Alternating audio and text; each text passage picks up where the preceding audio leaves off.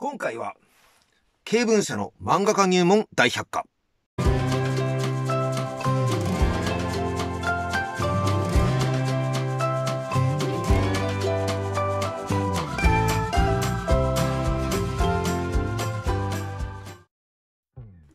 どうも、貸本山崎です。今回は漫画ではないんですけども、漫画に関する古くて懐かしくて珍しいものをちょっと紹介したいなと思います。はい。えー、冒頭でも言いました、こちらです。はい。経文社の漫画家入門大百科。はい。えー、経文社の大百科シリーズですね。これ見て、うわー、懐かしいわ、これ持っとったっていう人が、はい、中にはいるんじゃないかなと思うんですけども、はい、僕もう一個持ってまして、はい、こちらですね、戦闘機大百科。こちらの14って書いてますね。こちらの38って書いてます。はい、あのー、とても、あのー、古くて貴重なもんじゃないかなと思います。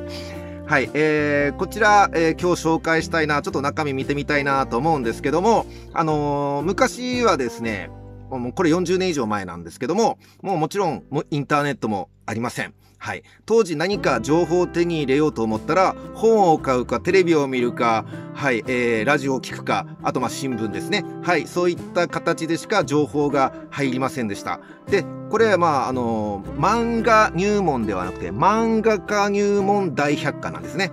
はい。じゃあちょっとこちら中身を見てみたいなと思います。はい。というわけで、経文社の大百科シリーズ。はい。えー、38号漫画家入門大百科。君も漫画家になれるっていう 本ですね。はい。えー、もう、本当有名な作品ばっかりが表紙です。ではい。こんな感じですね。これも本当、めっちゃ懐かしいって思う方いっぱいいるかなと思います。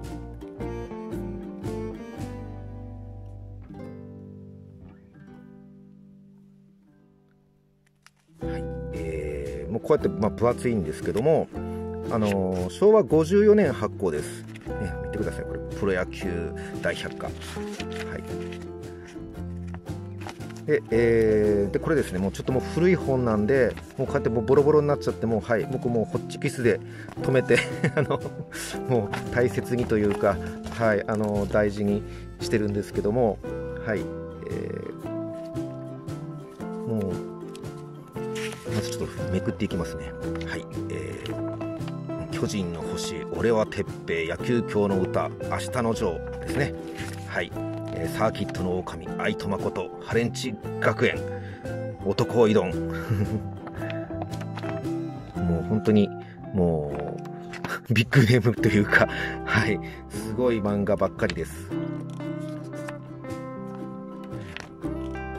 もう小さい頃これ僕が、まあ、小学校のそうですね4年生か5年生ぐらいに買ったと思うんですけどももう本当にもう漫画家に憧れての何十回も何百回もこうね開いた本です。おえこれですね。梅津和夫先生の、はいえー、仕事場。若き日の梅津先生が。詳しいと やってますでこれですねちょっとあのこれ若き日のはい、菅谷充先生なんですけども、あの、もう今71歳になられてます。はい、えー、これですね、昭和54年の本なので、菅谷先生が、えー、ゲームセンター嵐が出る前に、はい、書かれた本じゃないかなと、漫画じゃないかなと思います。えー、漫画、えー、のテクニック講座ですね。その、ハウツーの漫画です。はい。えー、菅谷先生は、あの、もうハウツー漫画を、あの、たくさん書かれてるんですけども、まあ、それの一番最初じゃないかなと思います。もしかしたら。はい。いろんな道具の紹介とか、はい、こうやってですね、硬化線とかの書き方とか、あのペンのペン先の種類とかですね、あのもう本当こんなのを見て、あの漫画をいっぱいいっぱいあの絵を描いてたあの思い出があります。ね、シナリオの書き方とか、はい、ネームの書き方とか、はい、えー、の、ね、こうやって、あの枠線の引き方とかですね、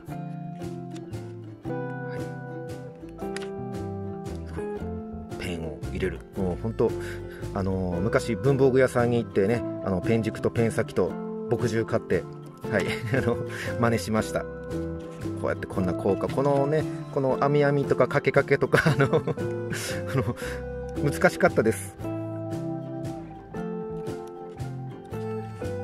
効果音のね擬音の書き方はいスクリーントーンの。もうスクリーントーンなんてあのあれですよ。もう子供高くて買えません。はい、あの当時ですね、レトラセットのスクリーントーンしかなかったんですけども、もう、あの子供の小遣いで買えるようなものじゃないし、そもそも売ってるところがほぼありません。はい、あの大きい画材屋さんしか売ってないようなものですね。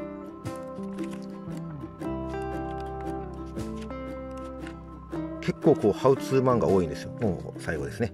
はい、えー、まだ売れる前なのでヒットする前ですね。ゲームセンターらしがヒットする前なのでこういう風に書かれてます。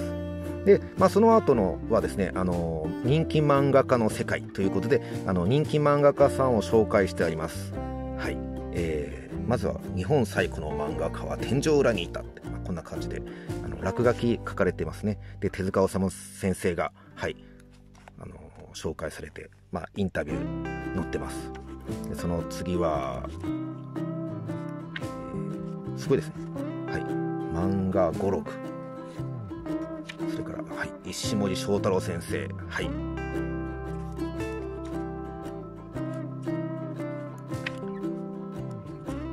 から松本零士先生。はい。男おいどんは無名時代の松本零士だ。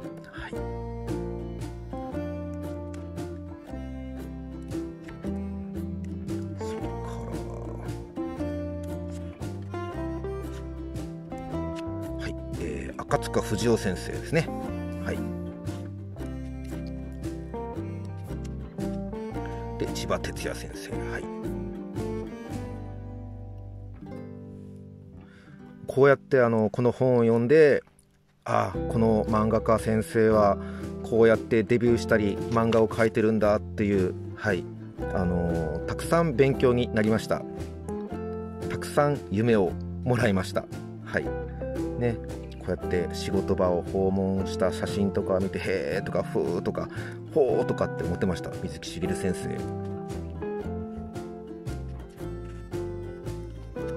はい水島真司先生。はい。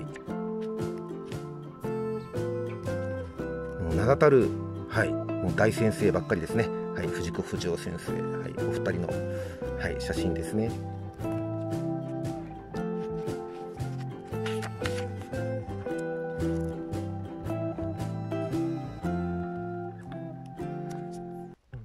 永井剛先生、はいえー、石森先生に弟子入りした時の話とかエピソードが載ってますね。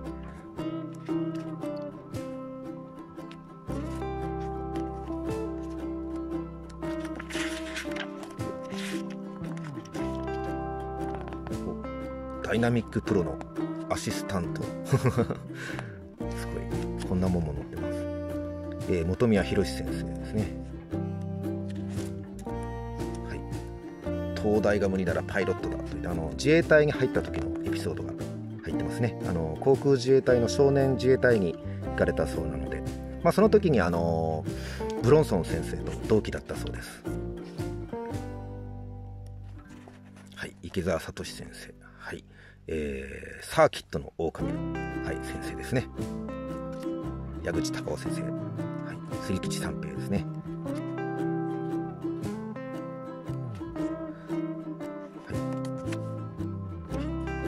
明先生、はい。えー、サインは V、は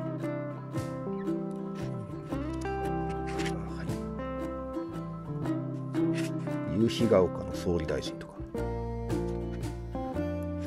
はい、小山優先生、はい、大好きな先生です。わ、若い。小山先生若いです。はい、えー、少女漫画の歴史なんかも載ってますね。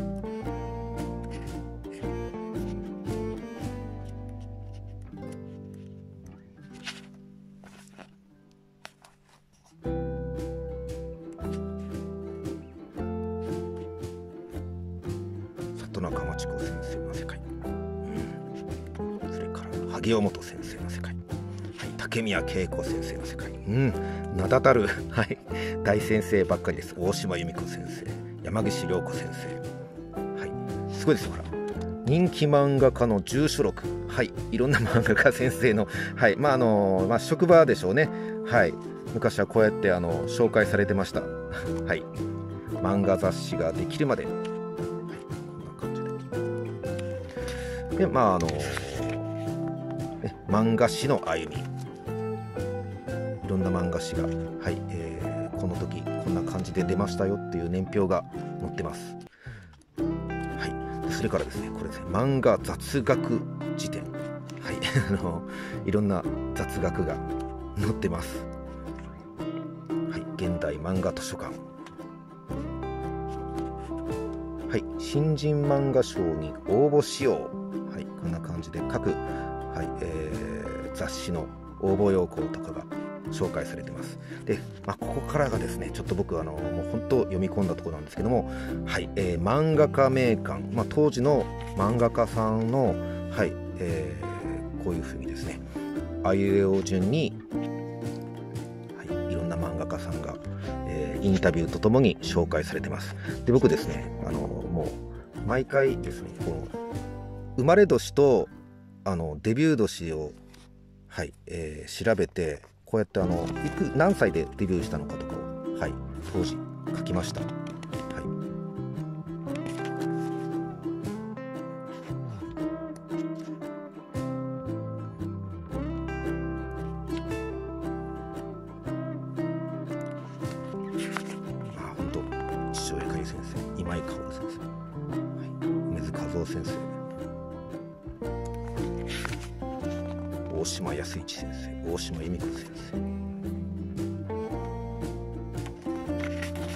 金井達夫先生。もう女の子がめっちゃ可愛かったんですよね。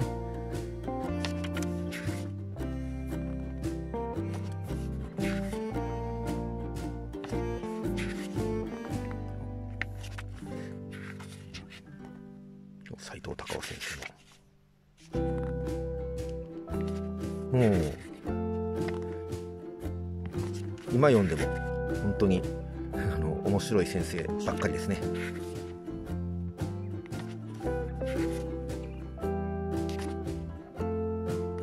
はい、あ立原あゆみ先生。はい。立原あゆみ先生とかあの男性か女性か分かもう当時も分かんないし今も分かんないってまあまあ今はもう男性って知れ渡ってるんですけどももう本当に今ヤクザ漫画ばっかり描いてる。当時はですねはい。こうやってあの可愛い絵で、はい、少女漫画を描いていらっしゃいました、千葉明夫先生と千葉哲也先生、まあ、ご兄弟ですよね。はい、えー、長男さんと次男さんで。はい。えー、三男さんも漫画編集者ということで四男さんが、えー、漫画原作者の、はい。えー、波太郎先生ですね。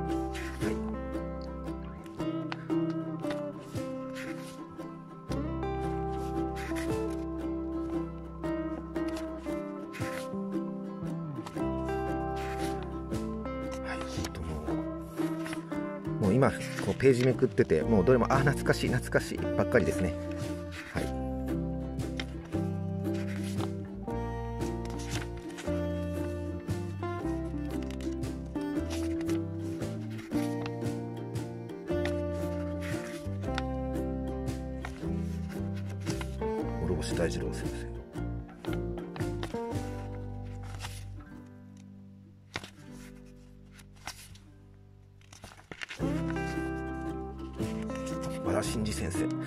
ピグマリオとかも本当僕大好きだったんでアスカシリーズとか。はい。はーい。はい。えー、お客さんが来ました、えー、ラストスパートやったんですけど、まあ、どこら辺までやったっけ？はい。えー、どこだ？もうここら辺最後ですねほぼ。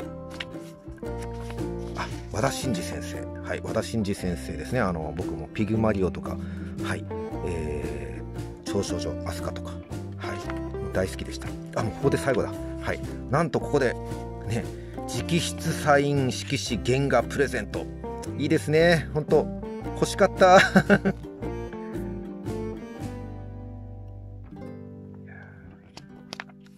い、えー、こう目次があってまあ最後。ね。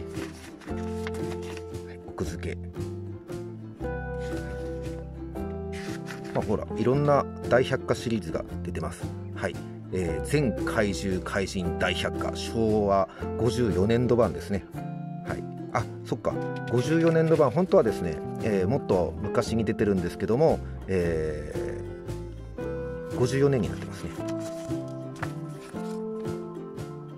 ちょっとあのここら辺見て「わー持っとった!」とか言って懐かしんでください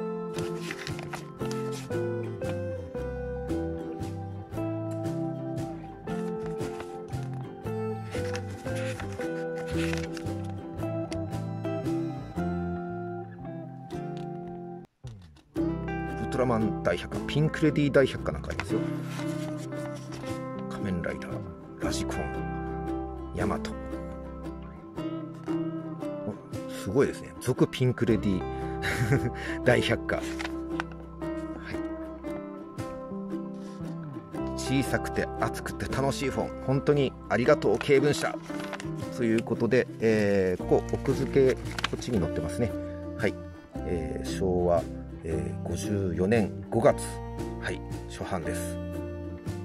はいというわけで、はい、ちょっと長くなりましたけどもはい紹介いたしました。楽しかったですか？